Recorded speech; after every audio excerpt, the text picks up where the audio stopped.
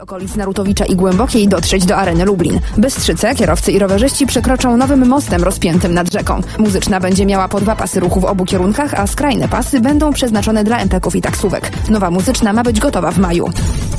Przy gimnazjum numer 10 na LSM w Lublinie powstaje hala sportowa. Ma być gotowa w przyszłym roku. Biorąc pod uwagę likwidację gimnazjów, skorzystają z niej albo uczniowie nowej szkoły, która w myśl reformy powstanie na bazie gimnazjum, albo znajdująca się obok szkoła podstawowa numer 29.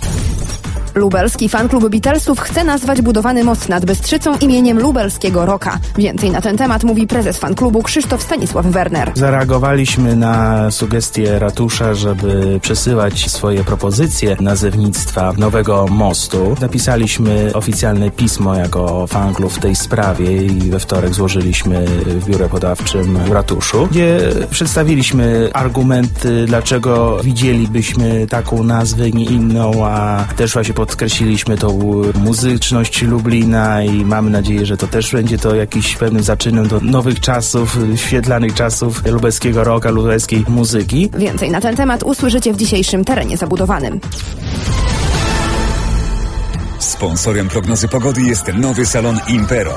Eksperci łazienek. Lublin, ulica Nełgiewska 7B. To jeszcze wyglądamy za okno. Aktualnie 17 stopni na plusie. Dziś może jeszcze popadać i pokropić, bo za oknem takie nieciekawe chmury nam się e, zbierają. Jak będzie jutro w piątek w nocy i jak będzie w sobotę, o tym sobie jeszcze powiemy. Sponsorem prognozy pogody jest nowy salon Impero. Eksperci łazienek. Lublin, ulica Nełgiewska 7B. Radio Free. Teren zabudowany. No i dzień dobry, witamy w takiej nietypowej roli. Po godzinie 14 w terenie zabudowanym kłania się nisko Grzegorz Chyruchliński. No i zapraszamy wszystkich gorąco do słuchania na 8, 9 i 9. Coraz piękniejszy Lublin, nowe ulice, asfalt gładki, piękny, człowiek jechał, mógł się rozkosztować. E, trwają prace przy budowie mostu na Bystrzycy, no i lubelski fanklub Beatlesów już ma pomysł na jego nazwę.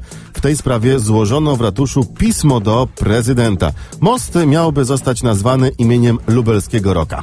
Więcej na ten temat mówi Krzysztof Stanisław Werner. Lublin był przez długi swój okres czasu zagłębiem muzycznym. Lansował nie tylko Budkę Suflera, Baim czy Urszulę i naszych tutaj lokalnych artystów, ale także tu w budynku Radia Lublin też były lansowane takie zespoły jak chociażby Manam, Republika, Big Cis, chociażby motyw do znanego nam serialu Świata według Kiepskich było nagrywane tu u nas w Lublinie, a mało kto o tym wie i byśmy chcieli za pomocą nazewnictwa tego mostu imienia lubelskiego roka upamiętnić tą gałąź, która w ogóle nie jest kultywowana. Bardzo szkoda, ponieważ jest warta uwagi. Bardzo fajna nazwa. Przypomnijmy, że to nie pierwsza taka inicjatywa lubelskiego fanklubu The Beatles. Wcześniej powstał postulat, żeby utworzyć park roka.